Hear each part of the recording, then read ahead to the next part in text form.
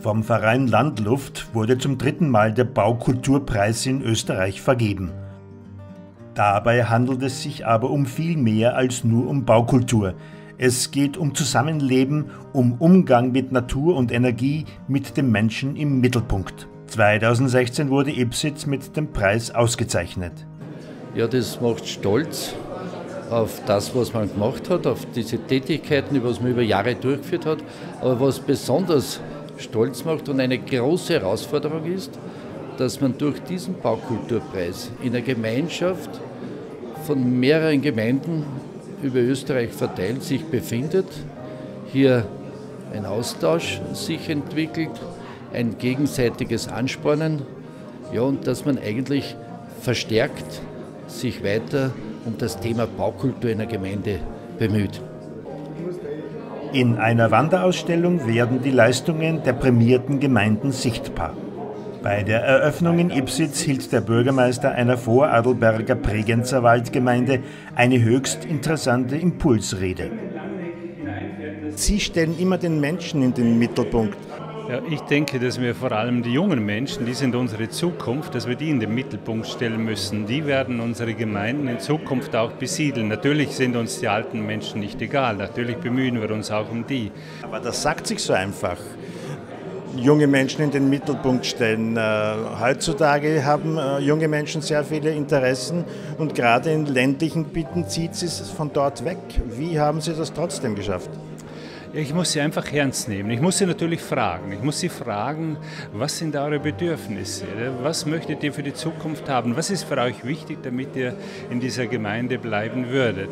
Und äh, wenn ich diese Antworten, die sie mir dann darauf geben, wenn ich die ernst nehme, äh, dann eigentlich ist das schon die halbe Miete drauf. Und dann muss ich natürlich schauen, dass ich entsprechende Maßnahmen umsetze, dass ich schaue, dass ich die Jugend in die Mitte des Dorfes bekomme, dass sie entsprechende Freizeitmöglichkeiten haben, natürlich auch, dass sie Wohnmöglichkeiten haben, Ausbildungsmöglichkeiten und dann glaube ich schon, dass Jugendliche bereit sind, sich nicht in Ballungsgebieten, sondern auch in ländlichen äh, Gemeinden und Regionen niederzulassen.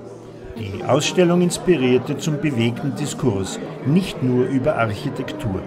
Aber was ist Baukultur aus der Sicht eines Architekten? Baukultur im übertragenen Sinn. Also Baukultur äh, betrifft uns ja alle und Baukultur bedeutet ähm, Lebensraum zu gestalten. Auch zuzusehen, wie Lebensraum gestaltet wird. Also Baukultur allgemein kann man vielleicht sagen, es ist das, was passiert. Ja? Und Kultur als Hochbegriff würde wohl bedeuten, dass man es bewusst betreibt, dass man äh, Bauen bewusst betreibt und sich dessen bewusst ist, dass es die gesamte Gesellschaft betrifft. Auch die neue Geschäftsführerin des Vereins Landluft war in Ipsitz zugegen. Also unsere Aushängeschilder sind eigentlich die prämierten Gemeinden von den Preisen. Äh, die ähm, sind unsere Best-Practice-Beispiele. Da versuchen wir, die Protagonisten aus den Gemeinden, das sind Bürgermeister, Planer, engagierte Bürgerinnen, äh, dass wir die wiederum in interessierte Gemeinden bringen oder in, in Gemeinden, die, sie da irgendwie, die da irgendwie den Funken gefangen haben für Baukultur.